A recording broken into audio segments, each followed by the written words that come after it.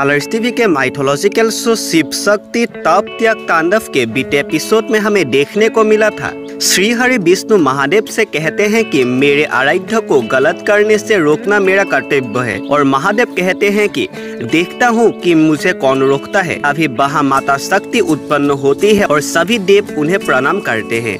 और वो इशारा करती है कि श्रीहरि विष्णु महादेव का हाथ छोड़ दे और माता शक्ति श्रीहरि से कहते हैं कि शांत हो जाइए नारायण। और तब वो महादेव जी से कहते हैं कि आप मेरी बातें मानेंगे, ना और उन्हें अपने साथ लेकर चली जाती है। और माता शक्ति उन्हें कहते हैं कि महादेव तो आशीर्वाद देने में माने जाते हैं। तो आप कब से साप देने लगे और आप न्याय देने वाले हैं? अगर आपने अन्याय कर दिया शिबत तो ही खो देंगे और आपने अगर शिवत तो खो दिया तो आप मुझे भी खो देंगे और ये सारी सृष्टि भी खत्म हो जाएँगी।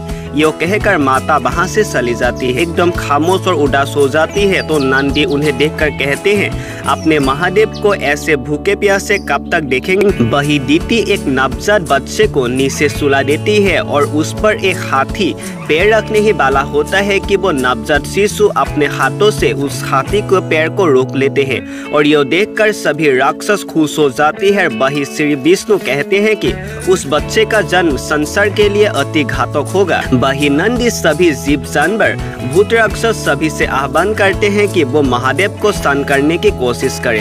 तब वे सभी महादेव के पास आते हैं, हर हर महादेव कहकर आवाहन करने लगते हैं और वो सब आकर महादेव से कहते हैं कि अगर आप ऐसे रहेंगे तो हम सब क्या करेंगे? पहले की तरह हो जाइए। सब मिलकर महादेव को मनाने की कोशिश करते हैं, पर महादेव एकदम शांत और उदास होते हैं और फिर उनके गण उन्हें भस्म लगाते हैं। तभी इसमें से एक गण महादेव के पास आकर कहता है कि, जब मेरा मन विचलित था, शांत नहीं था तो मेरे पास एक कन्या आई थी। उसने मुझे एक जल पिलाया था और मैं भी उसे अपने पुट्टी का स्थान दे दिया और वो जल पीते ही मुझे शांति मिल गई और मैंने उसे कहा था कि तुम्हें जो चाहिए मुझे मांग लो। तो उसने कहा था कि ऐसा वक्त आएगा, आप ये जल उसे पिला देना और वो कहता है कि ये लड़की पता है कौन है। वो लड़की आपकी पत्नी सती थी, ये सुनकर महादेव उसे देखने लगते हैं और वो सलकर पानी पीते है। वहाँ वो नवजात शिशु हाथी को एक हाथ से ही रोक लेता और उतने ही समय में वो बड़ा भी हो जाता है। तो शिव शक्ति की जो कहानी है, वो काफ़ी ज़्यादा इंटरेस्टिंग मोड पर चला गया है। अपकमिंग एपिसोड में हमें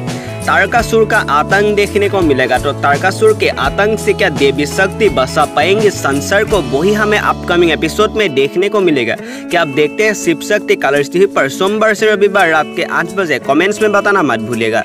अगर वीडियो देखने में अच्छा लगा चैनल को ज़रूर सब्सक्राइब कीजिएगा। ऐसे इन अपडेट्स के लिए देखते रहिए एंटरटेनमेंट की बात, जहाँ पर हम देते हैं एंटरटेनमेंट से जुड़ी हुई हर छोटी बड़ी खबरें सबसे पहले।